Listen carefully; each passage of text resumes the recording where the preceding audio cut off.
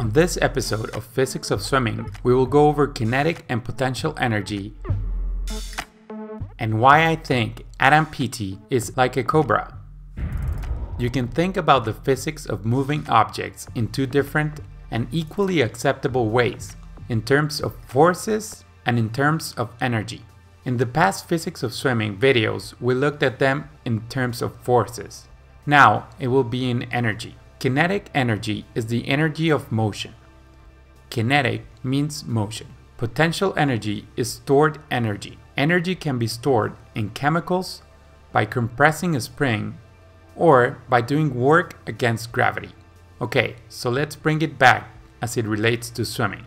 When you're diving, you have two kinds of potential energy. The first is gravitational potential energy. You convert that energy into kinetic energy as you're in the air and gravity brings you down to the water. This type of potential energy is found in a smaller scale while you swim butterfly.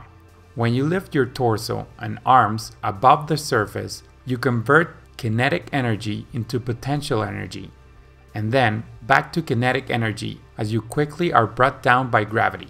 Then, you pass that energy through your body and down to your feet through the undulating movement of the stroke. This movement then pushes the water backwards and pushes you forward. The second kind of kinetic energy you have on the blocks is chemical potential energy. Muscles act like springs. So, the chemical potential energy of muscles is converted by muscles applying a force into kinetic energy of motion. So, when you take your marks, you stretch certain muscles as if you were stretching a spring. Those muscles have a lot of chemical potential energy, which is transformed into kinetic energy as the muscles tighten and make you jump. That is why I think Adam Peaty is a cobra, because when he swims breaststroke, he uses his back muscles and arms to lift his torso and head high above the water. This gives him gravitational potential energy.